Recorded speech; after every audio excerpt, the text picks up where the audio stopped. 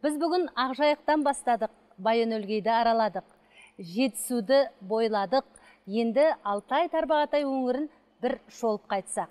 Бүгінгі бағдарламаға өзі ғалым өзі сазгер өзі әнші бағлан бәбіжан қыздарымыз келіп отыр. Қош келдіңіз бүгінгі бағдарламамызға. Рахмет. Сіздің осы үш шекті домбыраны жаныңызға серік еткеніңізге қанша уақыт болды бағлан? Енді мен осы үш шекті домбырамен ән айтып келе жатқаныма өзіме серік қылғаныма жиырма шақты жылдың жүзі болды.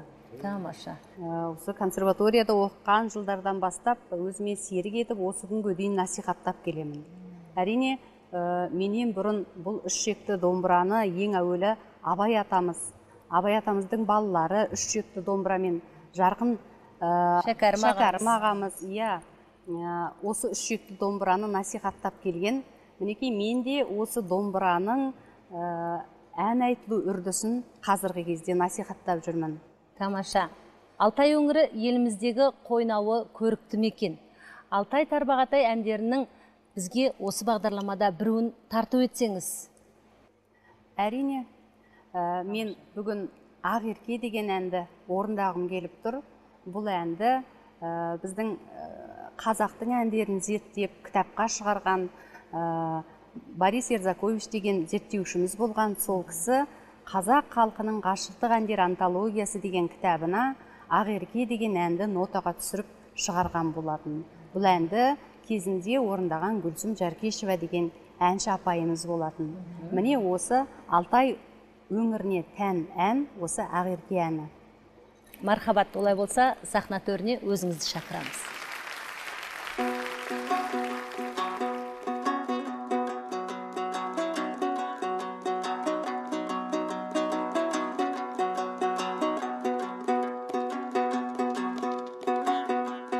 Қош болғайсың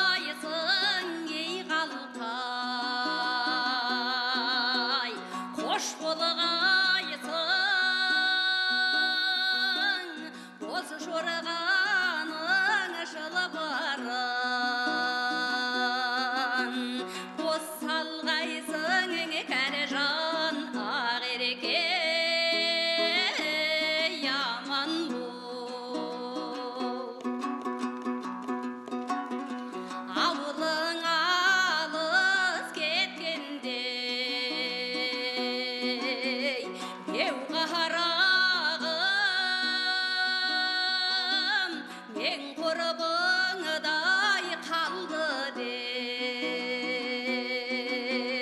еске алғайсың кәріжан ақерке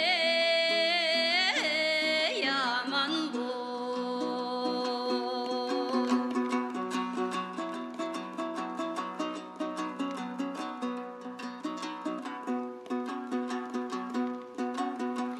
ойнап күліп